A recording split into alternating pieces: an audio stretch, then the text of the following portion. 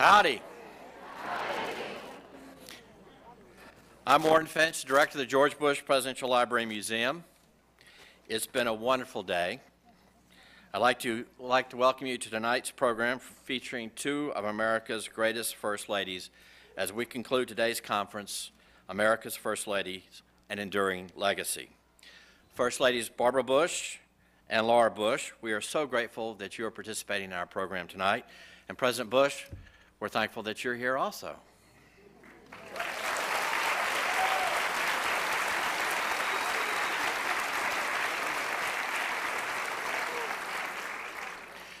In addition to our audience here in the auditorium, we're also being joined by an audience uh, over the internet. This program is being live streamed, so howdy to you all.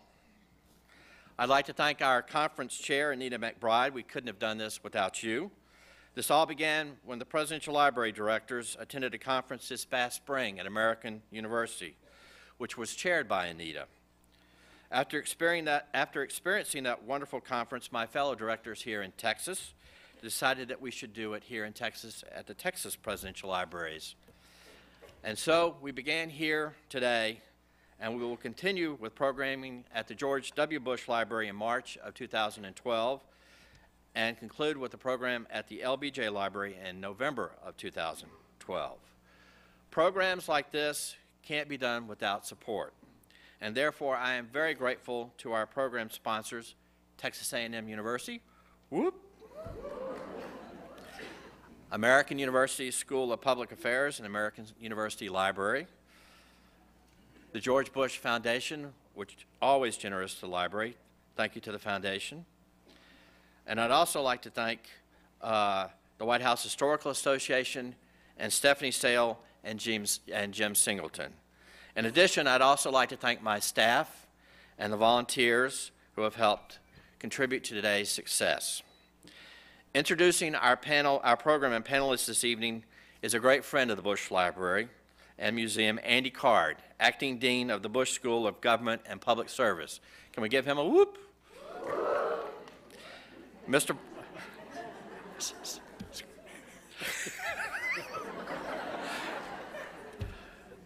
Mr. Card was appointed in July of 2011. He's for, formerly Dean Card served as Chief of Staff to George W. Bush from 2000 to 2006. During the Bush administration, he was Assistant to the President, Deputy Chief of Staff, and the 11th Secretary of Transportation. Thank you, sir. Thank you,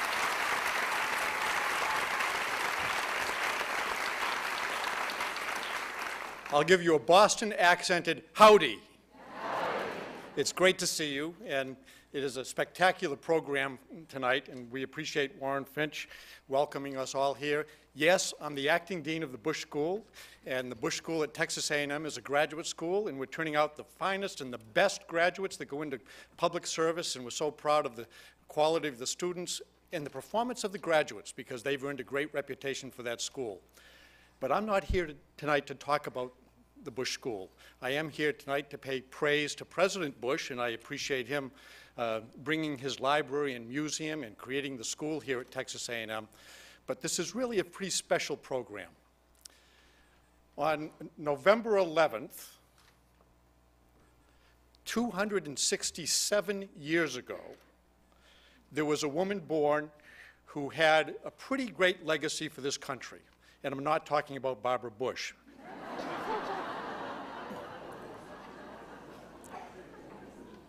Her name was Abigail Smith Adams. And she was the first woman to have been married to a president and was the father of a president. I mean, the mother of a president. Thank you, Anita. It was actually the Secret Service that whispered first.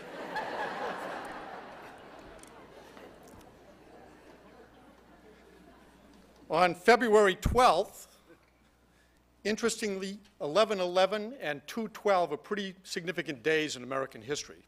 But on February 12th, 1775, there was another woman born, but she was born in London. And she was the daughter-in-law to a president, and the wife of a president. The two women that we will hear from tonight are even more unique than those two individuals because one is not only the mother of a president and the wife of a president, she also got to witness both of them taking an oath of office to be president. The other woman is the daughter-in-law of a president and the wife of a president. And she got to witness both of them taking oath of office to be president. These two women are pretty remarkable. Barbara Pierce Bush has had a long legacy of caring about people and inviting people to make a difference. She cares deeply about her family, and she's got quite a terrific family with lots of grandchildren and one great grandchild, and she cares so deeply about them. But she also introduced us to points of light and to the opportunity that comes with literacy and reading. She taught us what it means to be a volunteer and to make a difference in fighting cancer, helping people. And then you have Laura Welch Bush, a teacher, a librarian, passionate about reading, passionate about making sure that we were all literate enough to read, opening doors around the world for women to make a difference. The Afghan Women's Council. She went to Afghanistan and she helped invite women into being part of that community, a community that celebrated an opportunity to vote, but more importantly even, they're making a difference in the economy of Afghanistan. She's helped to fight malaria and AIDS in Africa. She's inspired women leaders all around the world to make a difference. Both of these women are pretty remarkable. But the uniqueness that they have is even more remarkable. They did watch a husband, a father-in-law,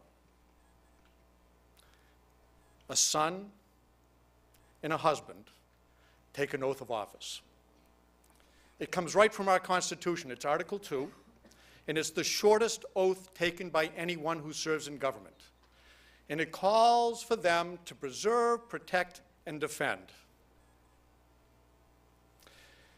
These women also witnessed lots of young people take an oath. It's a longer oath. And this oath calls for them to follow the command of the commander in chief. Both the presidents that took that oath had to ask for young men and women to make sacrifices that they would never invite on anybody. And those sacrifices resulted in a lot of pain. But there was another oath that was taken. And this was an oath taken by these women. It's an oath that calls for them to have a special relationship with a special person calls for them to say that they will be there in sickness and in health, in good times and bad times, for richer, for poorer, and to love and to cherish. Being president is an unbelievably lonely job. And it's lonely in part because of the oath that is taken. I can honestly say the two presidents that I served were never completely alone because they had first ladies who took their oath very, very seriously. So would you help to welcome Barbara Pierce Bush and Laura Welch Bush to share their experiences First Ladies.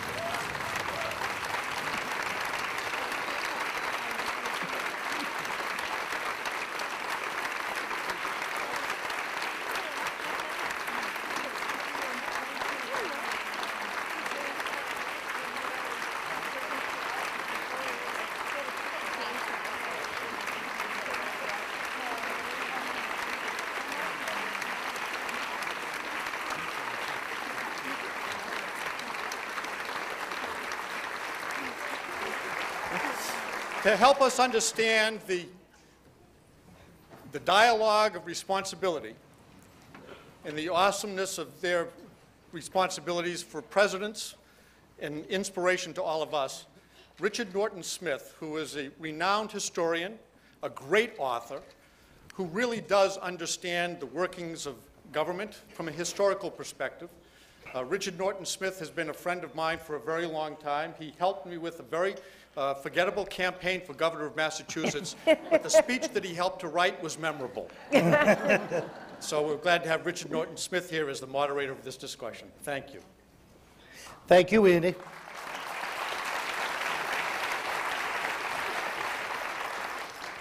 I don't know about you, Mrs. Bush. I'm not accustomed to getting a standing ovation um, just for showing up. You just got it because Laura was here. It's hard to know where to begin. Let me ask we, we've heard from a number of folks earlier today, and I know you were here for, for the discussion. We heard from real life practitioners, people who have been in White Houses of both parties uh, and uh, different periods of our history, uh, who have been challenged and risen to the challenge. Each of you had, in some ways, unique qualifications or life experience before you came to the White House. Um, and Andy has, has described them. Um, was that a particular advantage to you? Um, and is there any way to fully prepare for the job of First Lady? Shall I start? Sure. Yes, I was prepared because I lived in Washington with George for years, and he was vice president for eight years. So I could watch uh, some very good president and his wife. And uh, the truth is, the White House itself is so well organized that it's pretty hard to make too many mistakes other than just my mouth.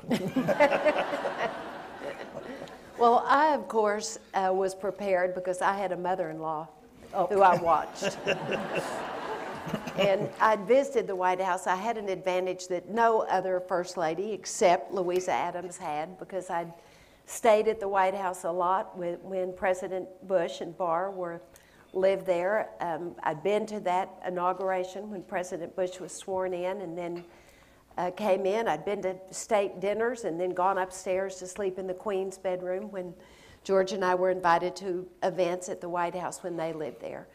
But really, of course, what I learned from Bar was that it is a home, that it really is a home.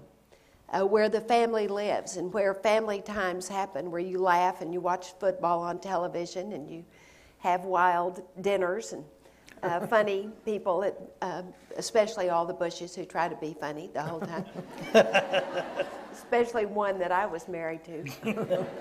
um, you know, so I knew that it really was a home, and I was felt very reassured when I moved in because I knew that it could be a home for Barbara and Jenna, who were freshmen in college, and, and it would be the only home they could come come home to because we. Our house was at the ranch, and, and when they came home from holidays, they would come to the White House to stay with us.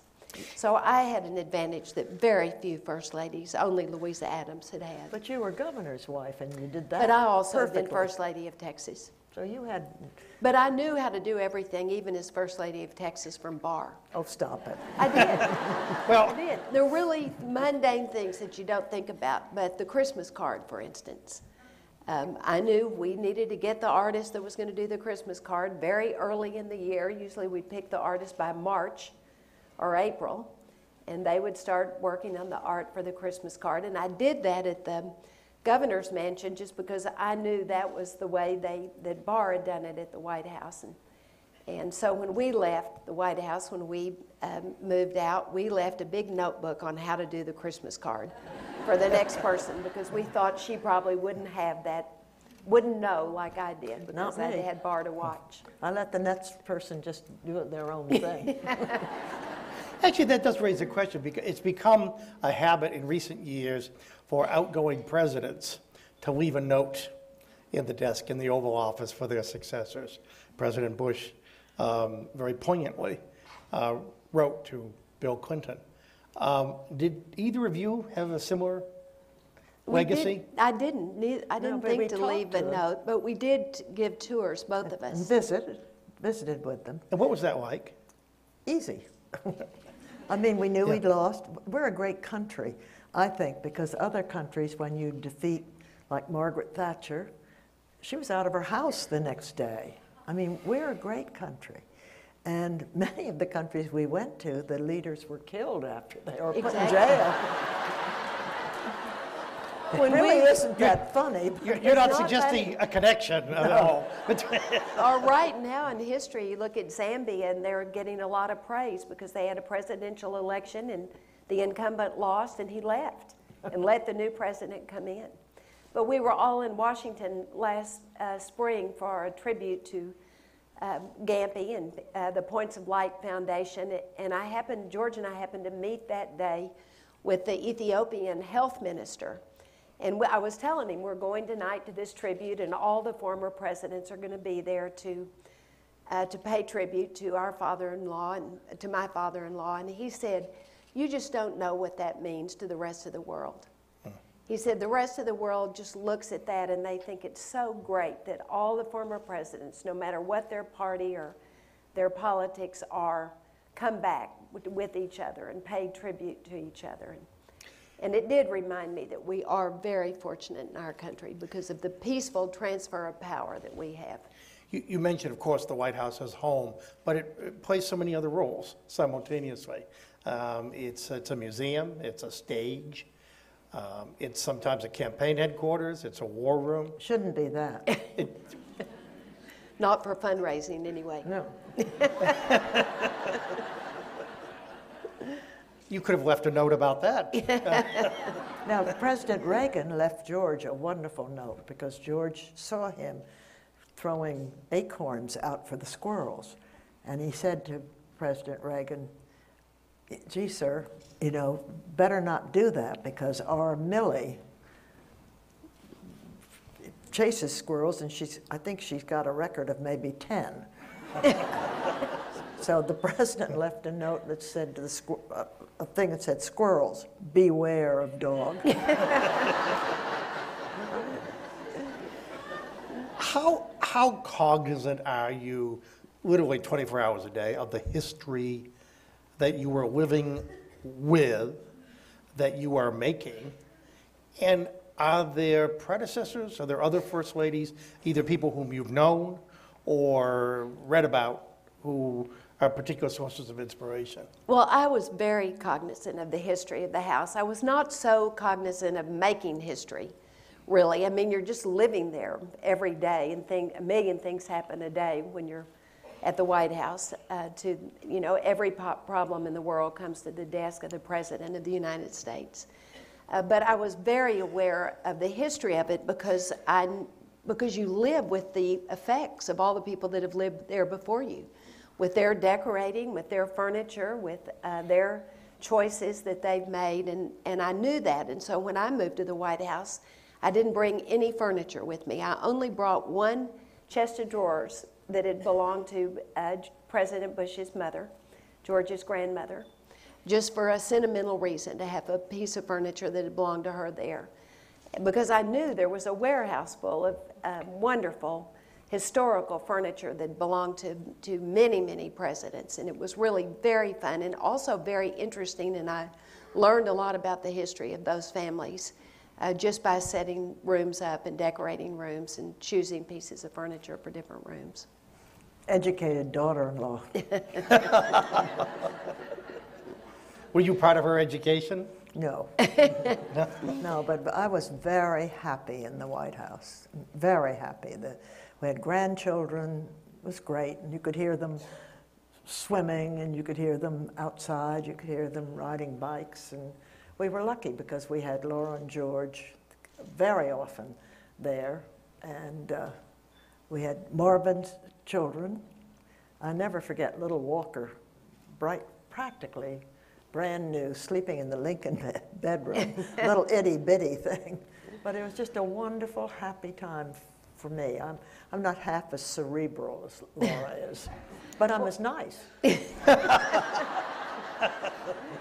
But when, for us, for Barbara and Jenna, they also got to be there as children, uh, as, you know, as the grandchildren of the president. So when they showed Sasha and Malia around the White House, they could show them all the things that seven-year-olds would want to do because they knew it from having been there when their grandfather was president.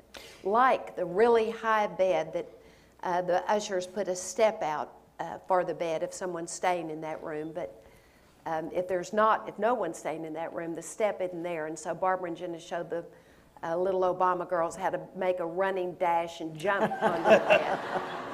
Or the solarium ramp that uh, has a wooden floor that every little kid that comes to the White House finally learns to slide down on their seat. And Barbara and Jenna, who were, you know, not little kids, when they showed the little Obama girls around, did show them how to do that. Pretty cute. You mentioned the solarium. What is it about the solarium that every White House family seems to fall in love with?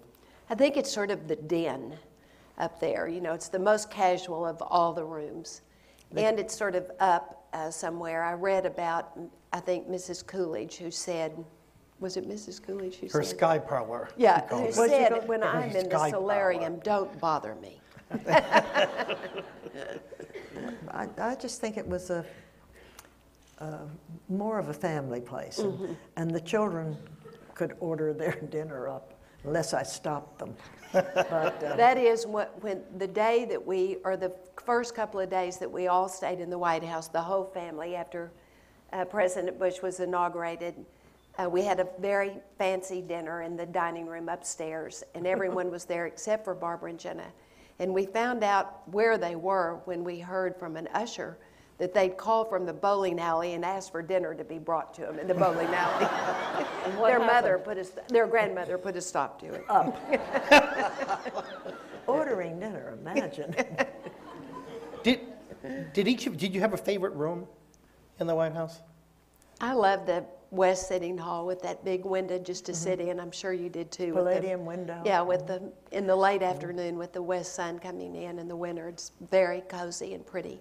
I loved the whole White House. And then Laura redid and brought the Lincoln bedroom back to the way it was from pictures, and she did a lot of research and raised the money so it wasn't done by the government. And you did a wonderful Well, the job. White House Historical Association, who are one of the sponsors uh, tonight, today of this conference, also are the private uh, philanthropic arm that raise money that can uh, purchase things for the White House. Was there a moment when it dawned on you, really for the first time, dramatically, just how much impact you could have, an action of yours or words of yours in the lives of other people? Well, I, I remember when I was the wife of the vice president, I could say anything. Nobody gave a darn. and I think George had just become president elect when I made some, I thought, normal statement, and I read it in every single paper. And it wasn't something I really wanted to be quoted on. But, but you learn not to speak quite as frankly, sort of. then you forget it when you get older. Exactly. Well, I knew, I knew Lady Bird Johnson, who also is somebody that I liked a lot, another Texas First Lady, and of course I knew her because we, she was still alive in Austin when uh, George was governor and we lived there. In fact, we hosted the opening luncheon of the Lady Bird Johnson Wildflower Center at the governor's mansion uh, before the gala that night for the opening of it. Uh, but I remembered that she said the First Lady has a podium, and she said, I'm going to use it. But somehow that didn't really, you know, I didn't really, I knew that intellectually, but I think I didn't really know it until I made the president's radio address to talk about the treatment of women and children by the Taliban. And right after that, I was in Austin with Jenna, and we went to a department store, and the women who sold cosmetics at the department store came up and said, Thank you so much for speaking for the women in Afghanistan. And then I really realized that people had actually heard me and that it meant something, that they were glad that an American First Lady was speaking out for our Afghan sisters. Oh, thanks for that. a different kind of outspokenness. You were once quoted oh. in, in the talking ladies, to her? in the Ladies' Home Journal Oh, as saying, "There's a myth out there that I don't dress well." Imagine that. He said, "Actually, I dress very well. I just don't look so good." Well, now I'll tell you a nice story. We read over and over again, and it was true. Dowdy, you know, all those nice things. So when George got elected president, when he was uh, president-elect, he said, "You take yourself to New York and you go buy clothes from designers," which I did do. He paid for every single one of them for four solid, miserable years for it. and nobody knew that I bought designer clothes. Why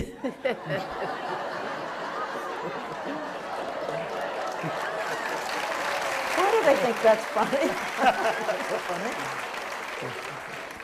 But Bar's right. There are a lot of myths about first ladies, and there's sort of a stereotype of everyone that you get stereotyped the minute you move in, and, Well, I- and that's it. It doesn't matter what you do. That's your that's your even stereotype. before you, you figuratively took the oath of office, I remember uh, at the beginning of the Bush, second Bush presidency, there was this consensus among some in the press, who obviously had never met you, that, that you represented the second coming of Mamie Eisenhower.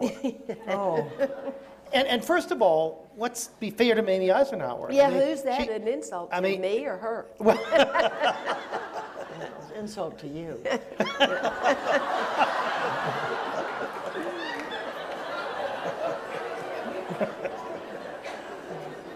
I was. that was Actually, rhetorical. You could say. Actually, you know, Mamie was as much an icon in the 50s as Jackie was in the 60s. It's just the 50s You're fell not out of old enough to know that. No, no. Do- But you must, at some level, resent the presumptions, if nothing else, the intrusiveness. Well, Uh, not really. I mean, look at all the things they said about George. Which one? yeah.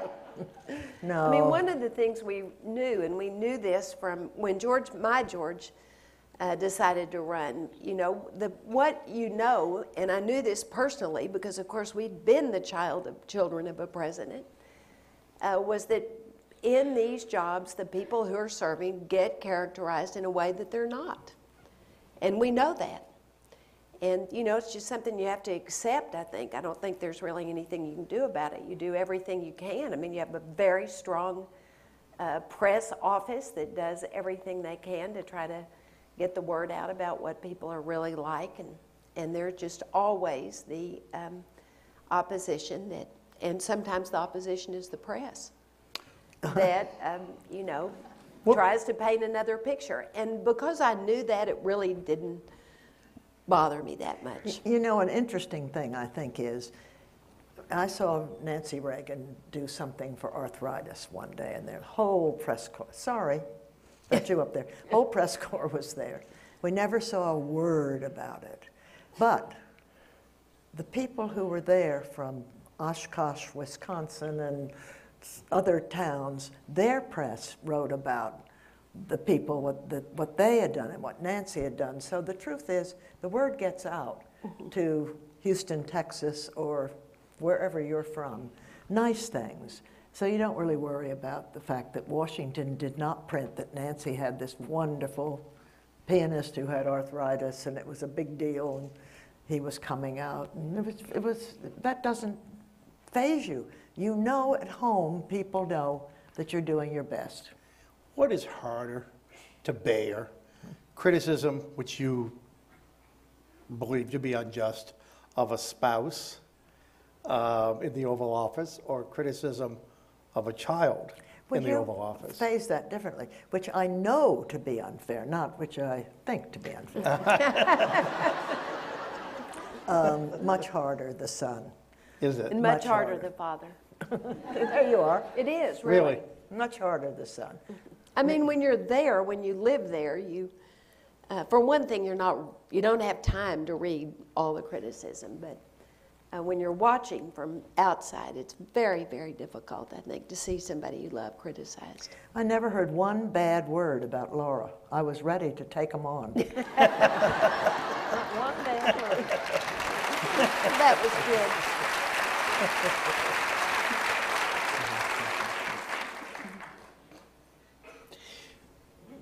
I You think- were, you were both wartime first ladies.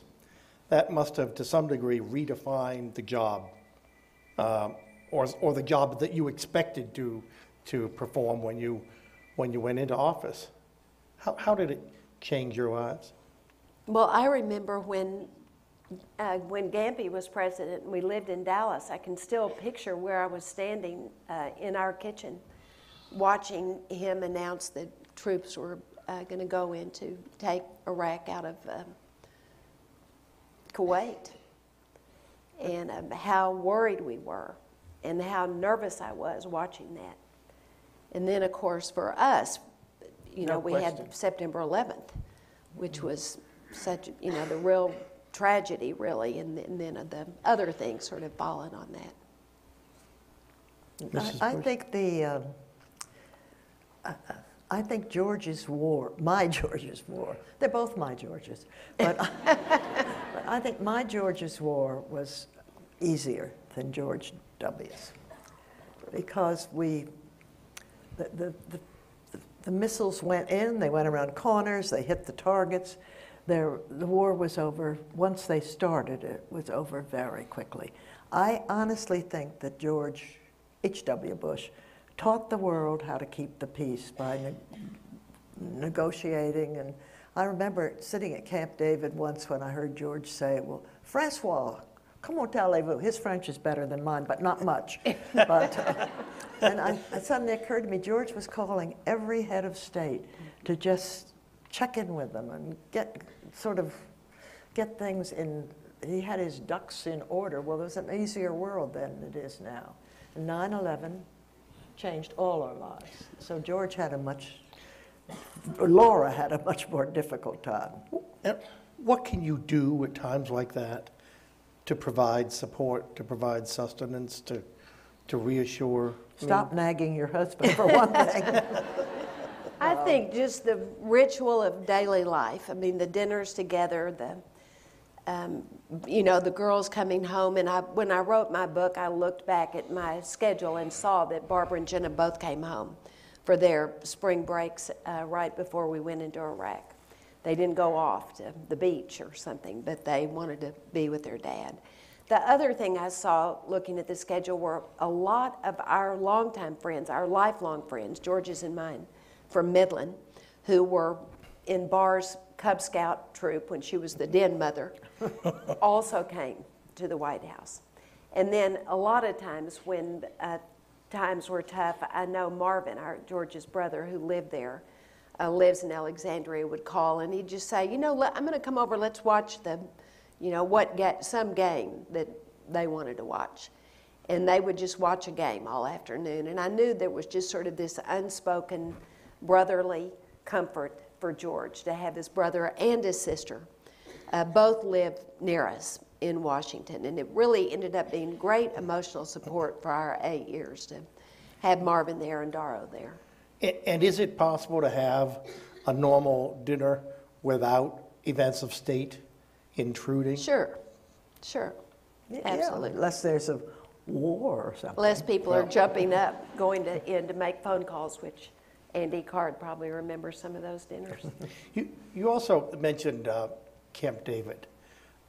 Clearly, uh, that's a place that presidential families cherish. I, I, I think it's, it's, it's not only a great place for family, and you can have people come up and advise you and talk to you, and it's private, and it makes a huge difference. And I know that George uh, met his cabinet up there and met vice president, and met just, had meetings where he could be off the record and really learn things. And, uh, and he was on the phone a lot. and it was great. I mean, I think it was great. He, he napped, which was good. We went to church, we built a chapel. And then our daughter got married there. people think we built the chapel for her, but we didn't. But um, it was just a great Our place. two families really loved it. In fact, we have a record that will never be broken of More guests? 12 Christmases at Camp David Wow. That's right. for the four years that you all were there and then the eight years that we were there. And she fed us. Do you, do you know this? I bet you don't know this. Every bite a guest eats in the White House or at Camp David, the president pays for. Maybe his wife does. But anyway, it's not something you just go and the White House feeds you and you, but it, you'll get a bill saying uh, Joe Blow was staying. One egg, 18 cents. One, I mean, they, everything is itemized. And so um, it, it's much cheaper than you all pay or we pay now. But it's, everything is paid for. So all the guests that they had and we had, we were delighted to pay for it. Now they took, Laura is an only child. She had two first cousins that I know of and nothing else. That's we it. have 850,000 relatives, all on George's side. And she fed them all. She had all of us, we're now 32 or 3, and uh, we probably weren't quite that many then, but almost, and they fed us every Christmas. Wonderful. But we did love going to Camp David, and it was a great um, relaxation, I think, for the president. Andy and Kathy Card went with us a lot because you may not know this, but somebody from the chief of staff or somebody from the chief of staff's office travels with the president everywhere. So on the weekends when we would go to camp because their kids were grown, they would come to camp, and then Kathy would get up early on Sunday mornings and drive off because she was a minister of a Methodist church and uh, in McLean. So she'd leave then. But it was also a really great way to get to be friends with both the people who worked with you, who traveled with you, and then all of our friends as well would come with us a lot. Of which they have thousands. That was fun. It was, it's a lot of emotional support to have your friends with you.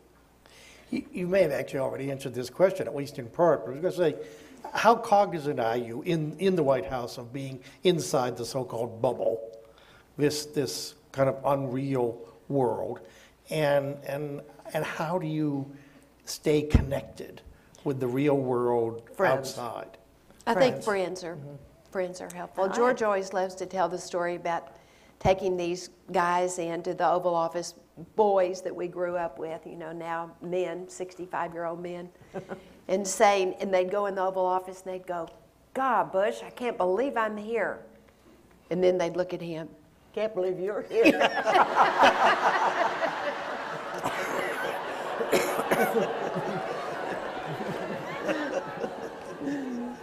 well, but friends make a difference. I think friends make a difference. My friend family Andy makes a Stewart difference. It's great to have family there, and the girls always had lots of their friends there. In fact, in the second four years after they had graduated um, in 2004, a lot of their friends moved to Washington and worked in the administration in various spots, and that was fun for them. And they did as well. They worked on the 2004 campaign. That's where Jenna met her husband.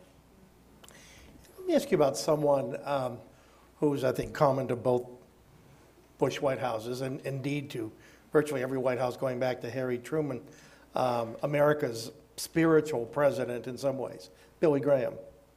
He played a significant role in your Big, lives, didn't he? big. And Tell us about. Well, Billy was great, great friend of ours, and certainly a great friend. George's mother adored him, and she, sh- she went to the inauguration, the first one, and then she went back to the White House and in the Queen's bedroom. Billy came back and sat with her, and so, I mean, he was that close a friend. And she would tell George, I think the happiest day of my life was when Billy Graham came and sat on the porch in Kennebunkport and talked to us. But he came to dinners, and I think you all were there when he came to the dinner, and one of our nephews or cousins, one of George's millions, was there at dinner and said to him, Well, Dr. Graham, I have a very close friend whose brother died. And he was a very good guy. Why did that happen? And Billy was so sweet, and he gave him a wonderful, loving answer, which um, seemed to satisfy him at the time. but it, it's a hard answer, and he was Billy was so thoughtful to our family, and certainly loved George W. and H W. Faith clearly helps you get through the tough times. Faith does for sure, and the churches that we went to, the um, camp, the chapel that Bar mentioned at Camp David, really was very, um, you know, it's something that I miss. We went there, of course, with the troops that are stationed there, the Navy and Marines that are stationed at Camp David, and their little children. And every year we went to the Christmas pageant with the little kids and uh, one year, two little shepherd, we made the mistake one year of having the Christmas pageant at eight at night. It was too late. And one little pair of shepherd brothers got into a fight with each other where they were choking each other on the stage. One's little, um, you know, abaya turned all the way around on his head, so his whole face was covered while his brother was choking him. But these, you Spirit know, of the they were, season. they were very sweet times, and it was sweet to be with those little kids and see them grow up. They, their parents weren't stationed there for long, two years maybe, or three years, but uh, later, George, ran, after one of the hurricanes, he was down on the coast and he ran, ran into the little shepherd's father, who was a CB, and he was down working on the uh, something to do with the hurricane. And so, you know, those were very meaningful times to go to church at Camp David with the troops that were stationed there. And then we went to St. John's across the street from the White House. Uh, the, that was the church we walked to or drove to when we were in town um, in Washington. And that minister, Luis Leon, is a Cuban immigrant. He was part of Pedro Pan. His parents put him on a plane by himself. He never saw his dad again because his mother didn't get out for five years and his dad had died before he got out of Cuba. And, and this, I remember on the second anniversary of September 11th, um, we went to a prayer service at St. John that morning and Luis Leon said, You know, Mr. President, you didn't ask me, but I think the reason they did it is because we're a country where an immigrant can preach to the president. Sweet. You know, we went to Camp David the last weekend we were in town. Uh, and they had a going away ceremony. And we, it, it was so emotional. I mean, it was, it was I, I'd been very brave. Doro had left town, Marvin left town. They just couldn't stand being there. But for the inauguration of our successor, we were very good sports about it. But that was the most emotional. All those soldiers and military people, and such a tribute to George. But it was really one of the most emotional times, I think, that we ever had. Another scene that is obviously never seen in public, but every four years occurs, or every four or eight years occurs, and that is usually on the morning of Inauguration Day, when the outgoing president and his family bids adieu to the permanent White House family. Terrible. Tell, tell us, because we've never seen it, and yet I'm told it was particularly emotional for both the Bush families. Well, I was lucky because I got to go back with Laura and George, but I remember rushing around the corner to go hug George and the other ushers who, not ushers. Butlers. Butlers who, we- well, we loved the ushers too, but running around because I hadn't said goodbye to one. And, and they were in tears and we were in tears. And guess what? Eight years later, we were back. Well, that was, you know, that was another advantage that made it seem like home to us, and that was because we knew the ushers and the butlers from the four years that we'd visited President Bush and Barbara, and of course the, you know, they stay. They they're permanent re, um, employees. They're not political appointees, and so there they we were back and they were back, and that was really fun to get to be with them. But that was very sad with a lot of crying and a lot of telling people goodbye and the one gardener, Dale, who always takes care of all the dogs. Uh, the dogs love Dale better than us. That's your dogs. Mine love us better. Dale even went, after the Fords left, went to Colorado when their dog Liberty had puppies. And um, he, re- he couldn't even come to the goodbye because it was not a goodbye to us, but it was a goodbye to Barney and Miss Beasley for him.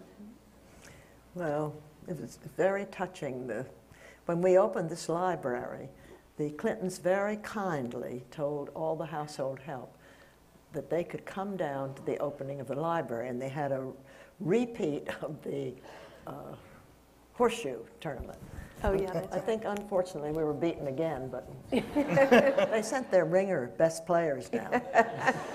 But that was very sweet of them because they knew how much we loved them and they loved George, so that was nice. Can you remember a, pat- an entertainer who you had to the White House who was particularly memorable?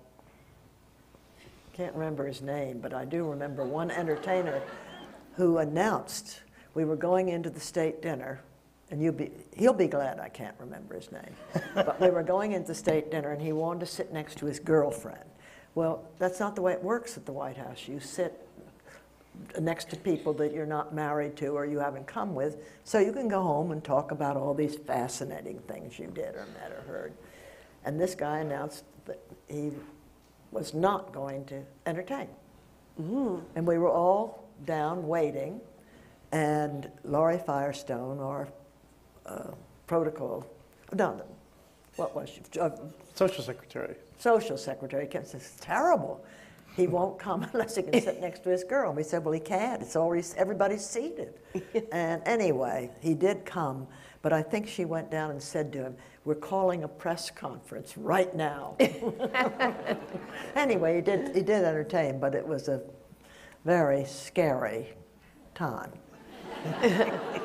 One of the nights I loved was we had a state dinner for uh, John Kufuor from Ghana.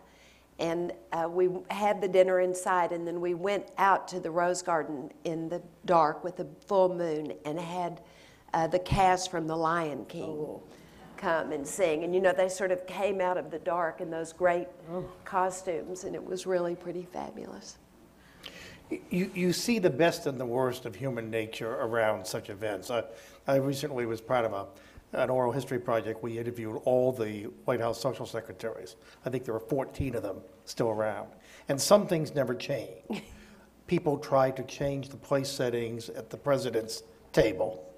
Did you ever run into that? No, I let the social secretary. My social secretary kept me in the dark about a lot of things. Well, I didn't know him till I, two, when I was working on my book, two of the social secretaries uh, came to Dallas and stayed with me for a few days. And we had the tape recorder and they told wild stories that I did put in the book, but I didn't actually observe these wild stories. Uh, Mrs. Johnson, there was a, a, a foreign potentate who shall remain nameless who was coming. And anyway, someone wanted very, very badly to come to the dinner, and they couldn't get an invitation. And his wife was of this country's descent. And eventually, word wafted up to the First Lady that the, the lady in question was dying of cancer. Oh, And um, she got invited. And I think she's still with us. yeah, yeah, I think so too. You know, but, uh, people will go to extraordinary lengths. You know, Mrs. Johnson, before Laura became First Lady, Mrs. Johnson was my favorite. Yeah. But Mrs. Johnson, when we first got to Congress, and there were 48 or 57 new congressmen that year, and Mrs. Johnson invited everybody up to the family quarters. And she told us that she had never been up there before herself. And so she wanted to be sure, and she remembered George's mother, and who had been, their husbands were in the Senate together, and she said, if Mrs. Bush, Dottie Bush ever comes, please bring her up to the White House, and I'd love to have her. I, I found that extraordinarily generous, that she would get us all upstairs, and she was just a lovely person. And I don't think she got the credit she was due. She's also, she defies the labels because she is, on one hand, a traditionalist. She obviously cared passionately about making life for her husband better. um, but she cared about making life for everyone better. So she was also an activist. Well, we both are that way, so stop it. no, I'm, I'm suggesting you have a lot in common. Oh, good, oh, good. I did get to show Lady Bird around the White House, though. It, um, Linda brought her in a wheelchair, and by then she'd had a stroke and she couldn't speak anymore. But she still was so expressive, the way she always was. Where, you know, if she saw the portrait of her husband, she sort of put her arms out like that. Or w- at the door, the doorman um, was a retired uh, maitre d, had been the maitre d when the Johnsons lived there, and when Linda brought her up uh, to the south portico, and she got in the wheelchair, and Mr. German fell into her arms, uh, the maitre d that had been there when they were there. It was fun to get to see the White House with her, and, and uh, she was still, you know, really could um, let me know which parts of it she liked a lot and which parts she didn't. There's an, probably this is an apocryphal story, but there's a portrait in the White House by Thomas Eakins of a little girl named Ruth who um, looked sort of unhappy. And supposedly, Lady Bird was giving a tour of the White House, and she said, I love this portrait of this unhappy little girl. And a man in the group said, Well, she grew up to be my happy wife. I think that's a true story. I don't know. I asked her about it, but she couldn't really I tell think me. that's a true story. A couple things before we open this to questions from the audience. I assume Christmas is a magical oh. time. Unbelievable. You know, the same florists came back every single year, and it was like trying to get into the most exclusive club in America. And they came for two weeks. Well, or a week, a full week at A least. full week, but These they- are volunteer florists from around the country who have come year after year to help decorate the, They do the White big House. wreaths and they do the, but the, now Laura says the Christmas card. I know we got there in January, in January, whatever it was, we were there the 20th, maybe the 25th. The florist came up and said, "What will the theme, Theme be for next year Christmas?" for Christmas?" I said, "What will the theme be?" but they they work all year long, the florists, on getting ready for the theme, and whether it's uh, storybook time or um, Santa's, St. Nicholas's, different things. But they work all year long. And then these people come in and they just really do a wonderful job. And they're fed by the White House chefs and they have more fun. They and, have a great time. and you cannot literally get in that club unless someone dies off. It's beautiful. I can remember Sam LeBlanc as a little boy, and they had oh, those wonderful White House trees all in the foyer with white lights and snow on them. And they invited the children to come down. They had a big snow fight with all that stuff. Oh, Sam LeBlanc was buried. He it. loved it.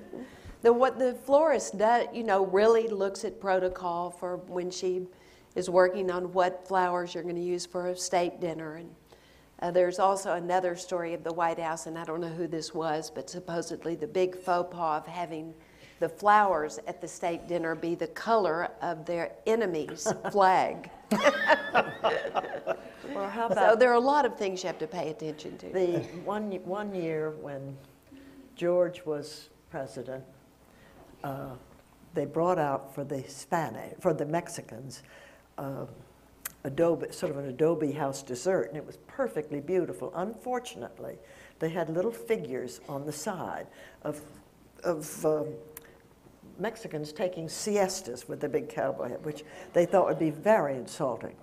So therefore, as the, the, the waiters walked out, someone stood and plucked the people off and said, There, crazy. There's a famous story at the, the Ford White House at the height of the bicentennial when Queen Elizabeth and Prince Philip were at the guests. And apparently, no one had vetted the Marine Band program that evening. And as the president and her, her Majesty stepped down onto the dance floor, the Marine Band broke into a lusty rendition of The Lady is a Tramp. How about the, how about the story that um, Ronald Reagan was leading Mrs. Mitterrand into the dining room, and she suddenly halted, and he urged her to come on. And then, and then she, no, she wouldn't, and he didn't speak French, and her English wasn't very good, or wasn't at all. Finally, she pointed, he was stepping on her dress. now, he told that story. And then later, uh, our chief of protocol told that story as though it happened to him, but we all know it happened to Ronald Reagan. Well, I wrote it in my book because I did the same thing with the First Lady of um, Poland's dress, where I stood on her gown and You're kidding. kept, you know, trying to get her to move on. Now That's that, it's better not to wear a train to the White House. You, you haven't asked this, but I, I, I think the most exciting. I, I read where you were going to ask us this, but I tried to think. I think the most touching day at the White House was the day Lech Walesa came, and George invited all the labor union people in our country, the top ones, because they are the people who really fought for solidarity. And we had been to Poland a lot and, and seen the transition, and it just was so touching. He came, and he didn't speak English, but he said things with tears running down his face. This little guy standing at the podium, and he kept saying, God bless it, God bless it. And he leaned down and kissed, kissed the floor. I think that Oh, was the that's so most emotional moment. Mm. And then we, these were great big people, these labor people. And we had a big reception. And while we were standing in the receiving line with this wonderful man, why someone in, in this party leaned against the dining room table and it went in the middle. and the, everybody at the White House rushed up and they fixed it up. Now that person was never seen again. And the, the table was gone for like four months. But it was just one of those, it was an extraordinary day, really. Mm-hmm. And it was so right to have the people who fought for them. That was amazing. You, I, I have to ask you, in your memoir. Are you looking at her? I'm asking you. Oh. You told, you told a story about, as the wife of the vice president, you were in Tokyo, and you were at a, at a banquet with Emperor Hirohito, and, and making uphill conversation. Terrible. Wouldn't answer. Everything was yes, no. I went to your child's school. Yes. uh, did your grandchildren go there? No. and he's a very sweet little man. So finally, I said, Sir, we, when we drove in, we saw the old palace, and I, I guess it was so old that it just fell down. And he said, I hate to tell you, you bombed it.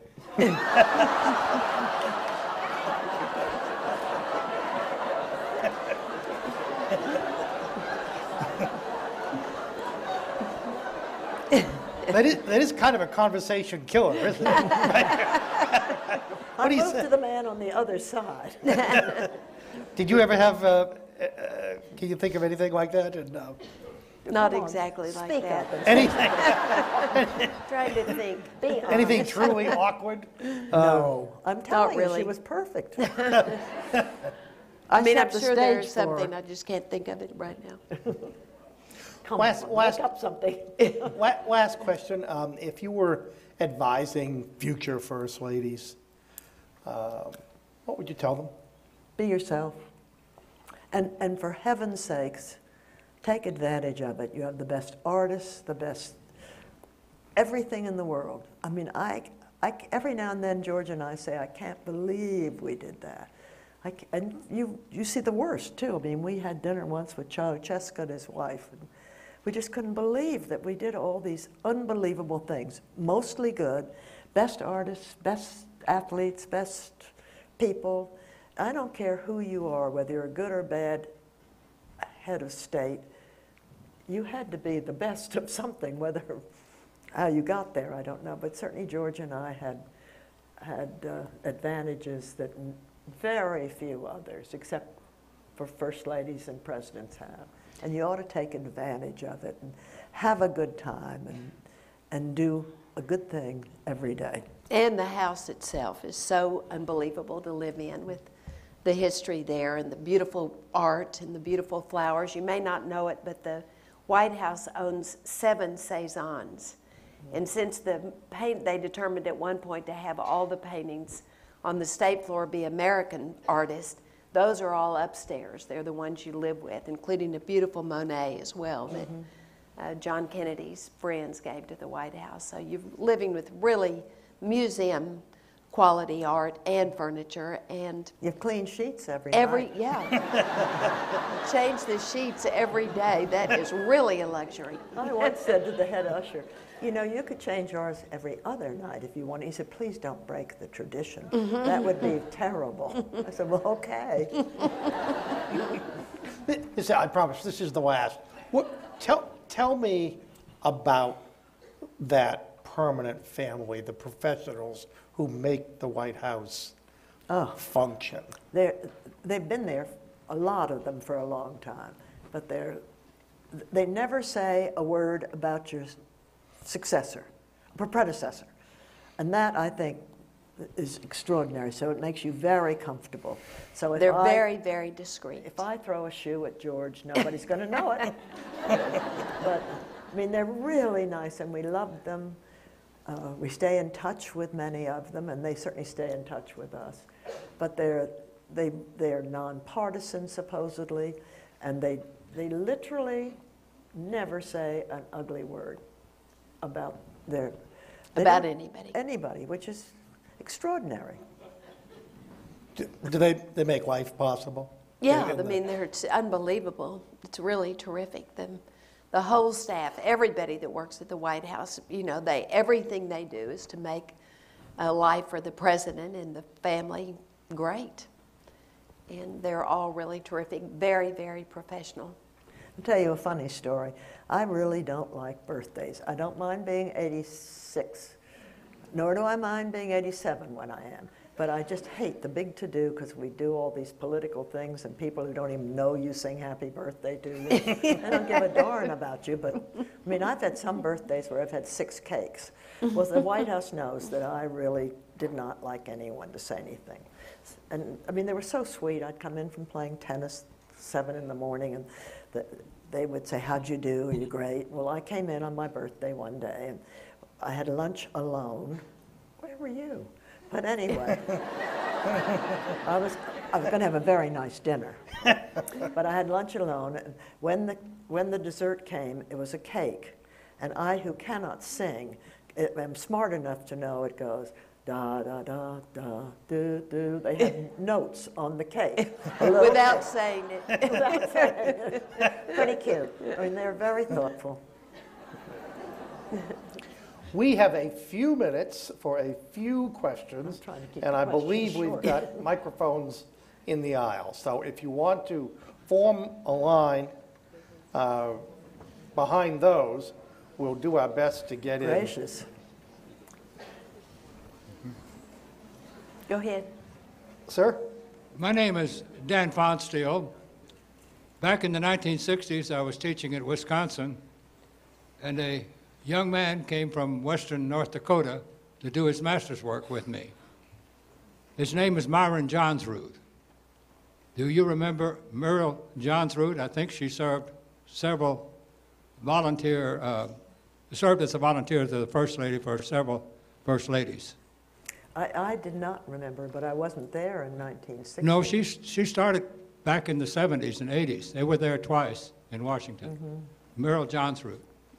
I, I really don't remember. Okay, that's I okay. can't remember my 17 grandchildren's names.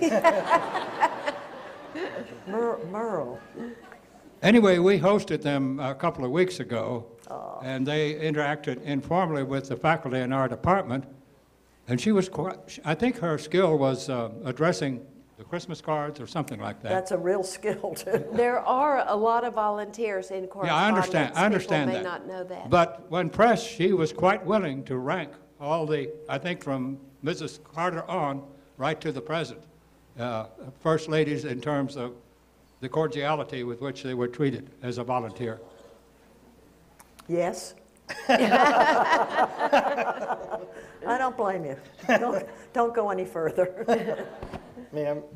Hi, my name's Cheyenne Life Day, and I would like to know how is life different after um, y'all are at, y'all, um, y'all's husbands are out of the white out of office? Well, I'm going to answer that and let- then let her.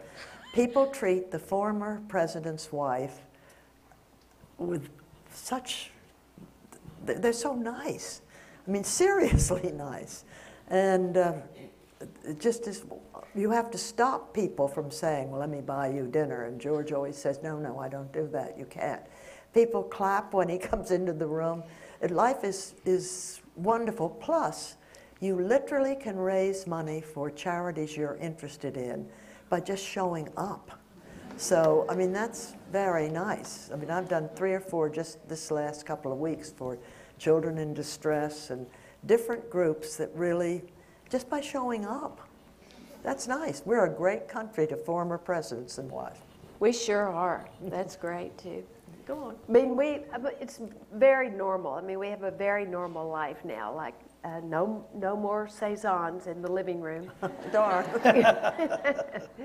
But it's terrific, too. I mean, I think you know when you're inaugurated that four years later, you move out, and I think there's a certain anticipation really at the end where you start looking at the next part of your life. And, you know, it isn't like you think, oh, I wish I could stay one more day. Uh, so it's pretty nice to be in a normal situation again and go for walks and do the things that, that I didn't do that often when I lived there. Uh, President uh, Carter and President Ford, as some people know, became good friends in later years. And at President Ford's funeral, uh, President Carter was one of the eulogists, and he, he talked about a cartoon in the New Yorker that the two of them got a chuckle over. Uh, and it showed a little boy, and he was, he was sort of pulling on, on his mother's arm and said, Mommy, Mommy, when I grow up, I want to be a former president. He's right. Young man. Howdy, First Ladies. Howdy.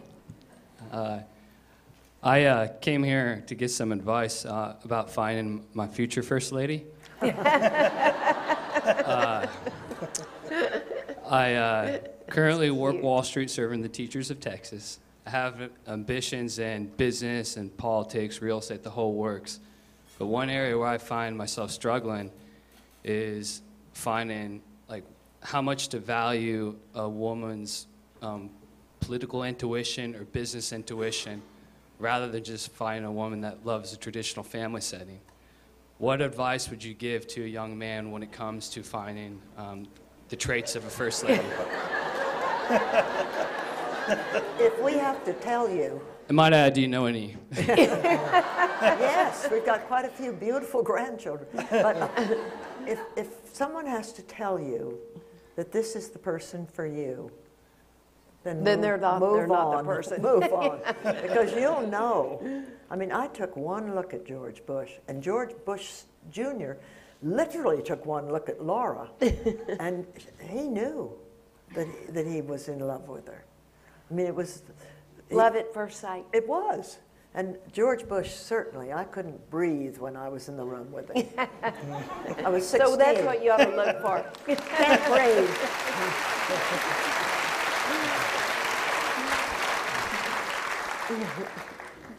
Yep.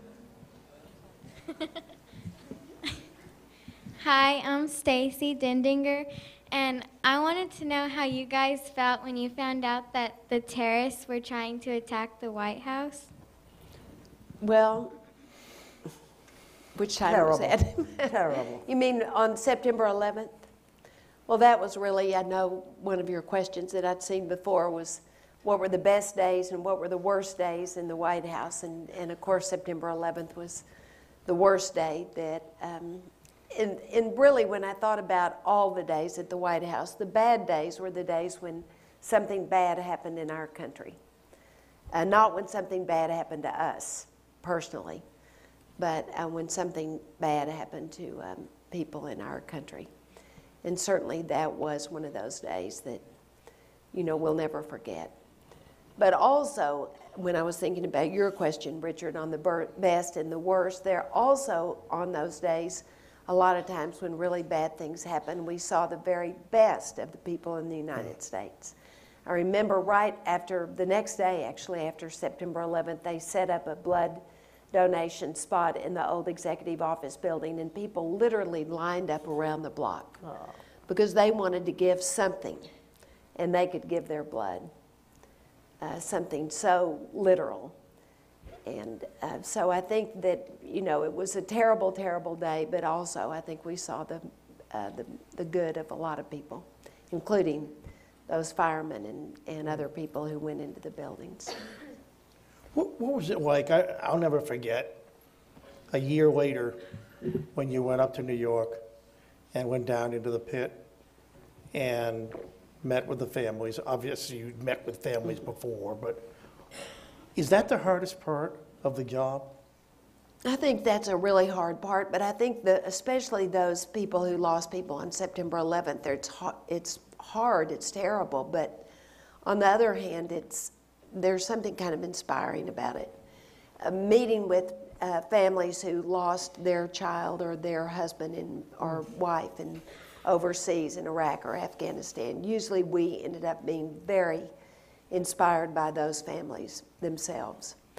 Uh, the, there was one family that lost their son on September 11th. He was on the plane that flew into the Pentagon.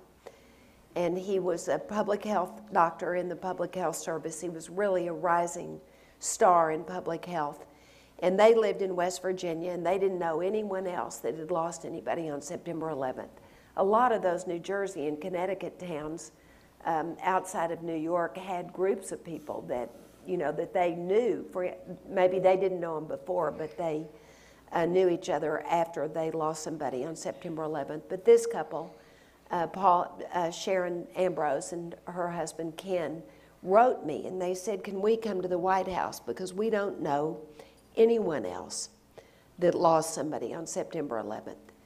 And so they came, and the I had already heard from a really close friend of mine who worked in the, who's an admiral in the public health service. She had already told me about this young man, Paul Ambrose, and what a loss it was that because he was such a great public health doctor.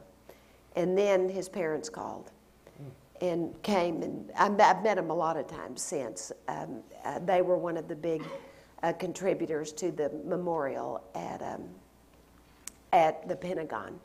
But my friend Penny, who told me the story about it, I, I told them when I met him that somebody, a friend of mine, uh, had told me about Paul already. And uh, recently, they've started, the Ambroses have started a scholarship for public health doctors in, in Paul's honor.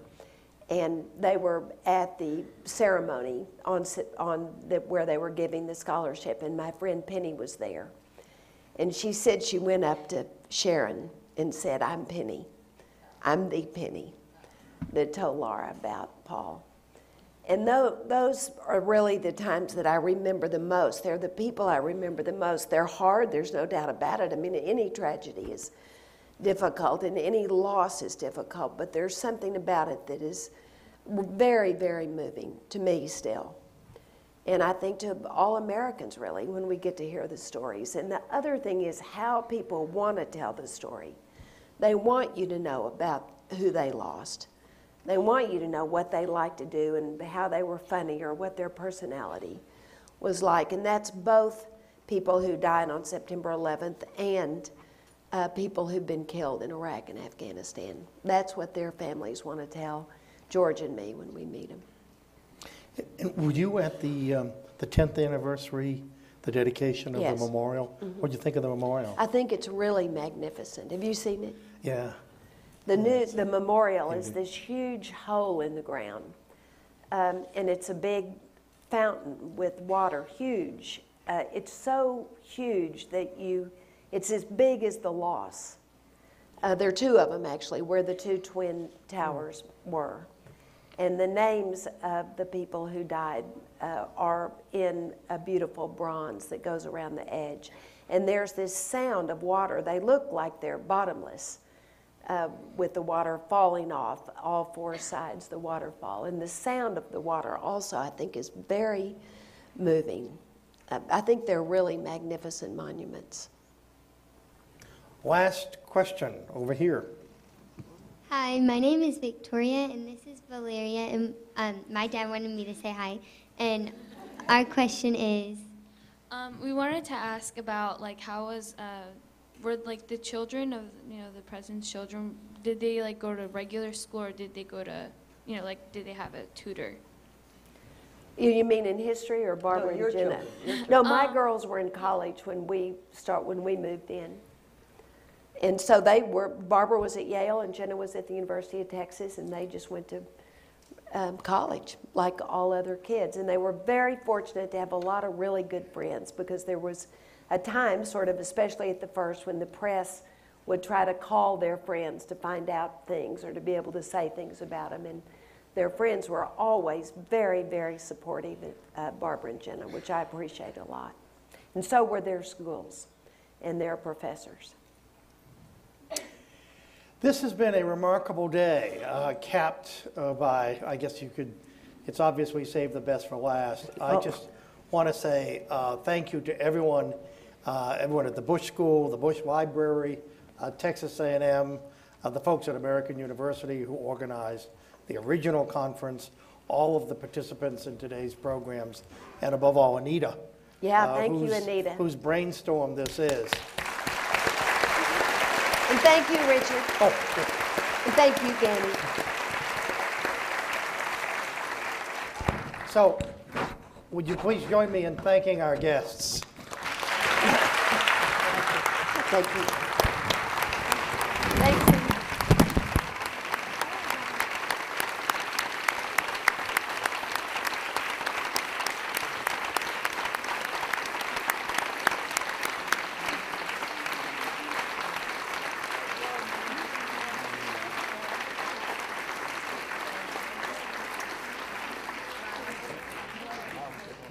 Ladies and gentlemen, it's been a wonderful day. This concludes our program. Please drive safely home. Thank you very much.